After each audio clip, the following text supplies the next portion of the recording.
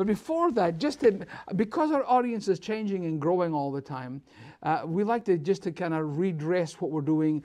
We do this ministry here. We preach in churches all over America. But my heart is in a wee country called Moldova. It is the poorest country in all of Europe. Um, when young girls and boys turn 16, they're put on the street and they are given uh, a couple of bucks and, the, and they are at huge risk of trafficking. And if the traffickers gets one of these kids, that young person, that young girl can make $300,000 a year for the trafficker.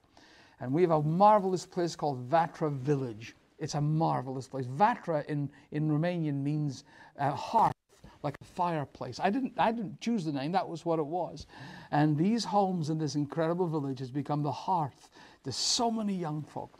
And I want you to watch this video about Vatra Village, and you'll be blessed as you watch it. Watch this.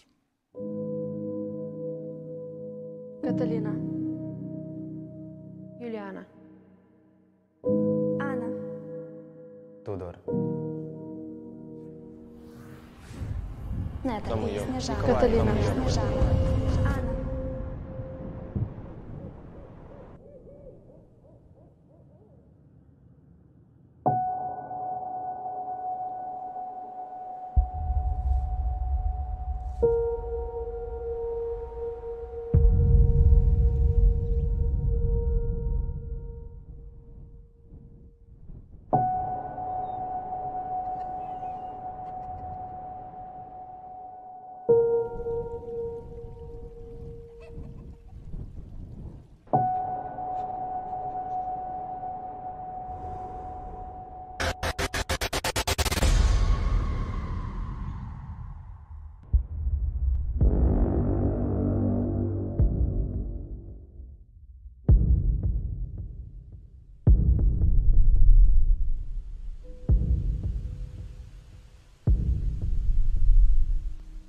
Moldova,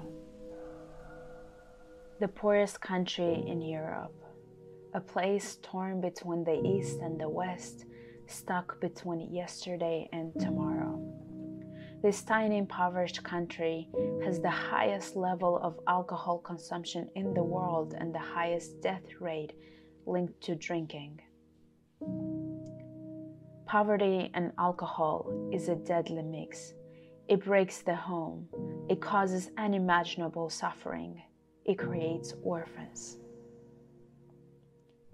In this corruption dominated society, orphanages become recruitment factories where girls and boys in the most vulnerable positions are handed over to traffickers as they age out of the system.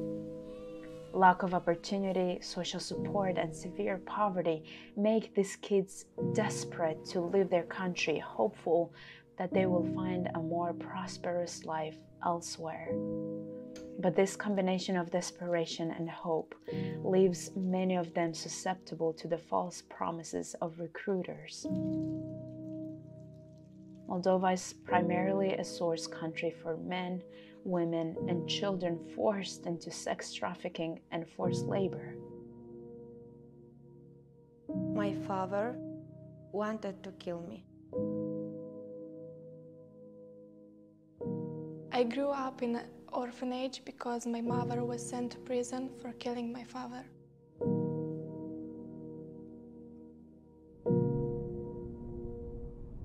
I had the knife from my father and pulled my beaten mother out of the house so he wouldn't kill her.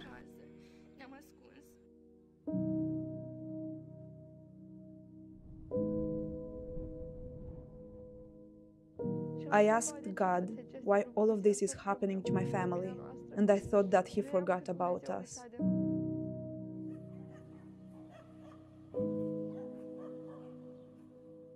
I was supposed to be aborted.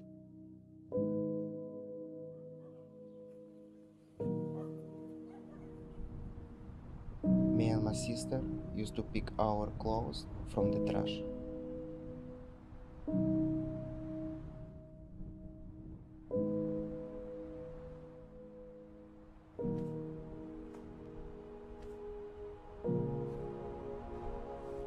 Yet, in the midst of this sorrow, a miracle is taking place. Orphans are finding hope through the work of the orphans' hands. And because of your generosity, today, Vatra Village is a place of warmth and comfort. Something most of these kids have never known. In these rooms, care and love, hope and healing transforms pain into purpose and loss into life. They are finding their broken hearts healed by God's love, and hope is then turning into action. These amazing kids, once rescued and restored, have an unstoppable desire to return to those whose fears they understand, to reach the ones who are what they once were.